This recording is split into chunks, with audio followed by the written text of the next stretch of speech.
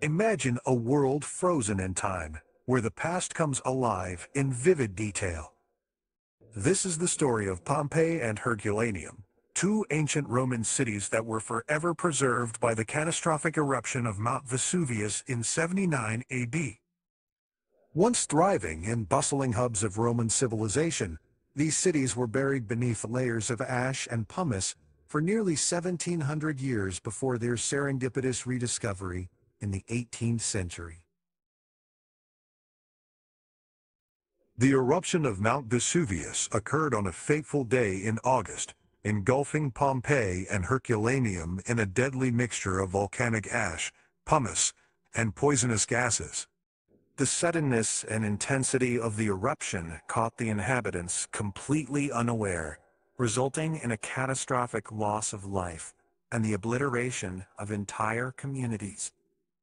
The once prosperous cities were reduced to ghostly vestiges beneath a suffocating shroud of volcanic debris.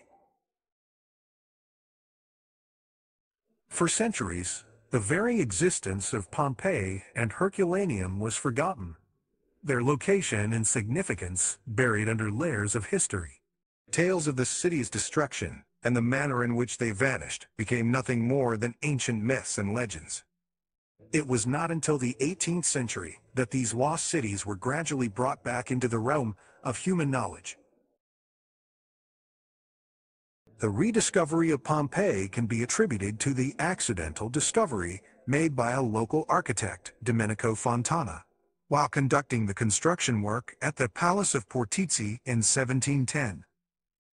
However, it was not until nearly a decade later that the true significance of the buried ruins was recognized. The excavation of Pompeii began under the patronage of the Bourbon king Charles III of Spain, who ruled over the kingdom of Naples and Sicily at the time.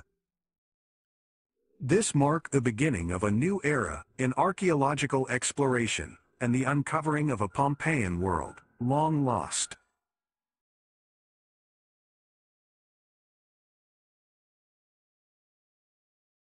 The meticulous excavation work at Pompeii unearthed a city frozen in time, revealing an astonishing array of well-preserved buildings, streets, frescoes, mosaics, and everyday objects.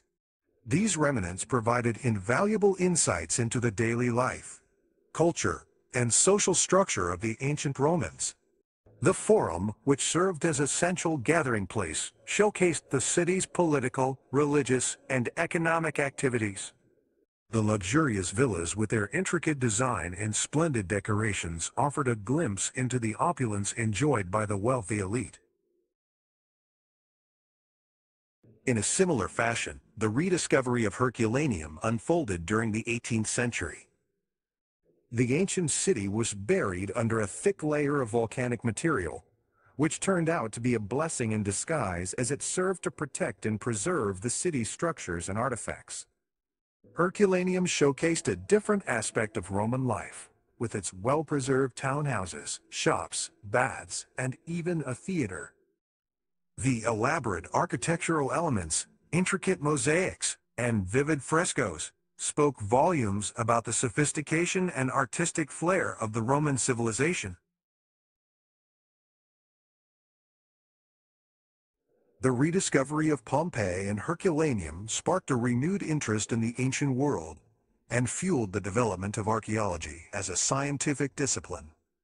Scholars and artists flocked to these archaeological sites, captivated by the opportunity to witness firsthand the wonders of the Roman civilization. Their meticulous documentation and artistic renderings played a crucial role in preserving the memory of these lost cities. With the passage of time, Pompeii and Herculaneum evolved into open-air museums, allowing visitors to walk through the streets of ancient Rome and immerse themselves in its vibrant past. The tale of Pompeii and Herculaneum serves as a powerful reminder of the forces of nature and the impermanence of human existence. It is a testament to the resilience of these ancient cities and the people who once called them home. Today, the archaeological sites of Pompeii and Herculaneum continue to fascinate and educate visitors from around the world, allowing them to connect with the past and gain a deeper understanding of the rich tapestry of human history.